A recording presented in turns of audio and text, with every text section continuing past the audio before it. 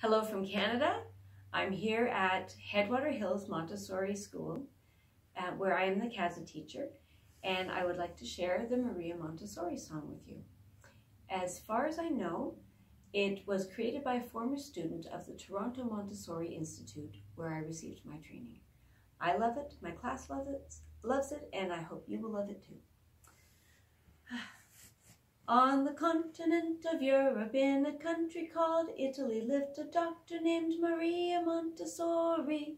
She was a busy doctor, but she gave it up for children and created the Casa dei Bambini. There was spooning, metal insets, the pink tower and binomial cube.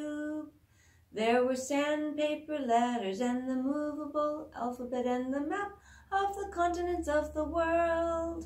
Here we are, working hard, celebrating with all our friends.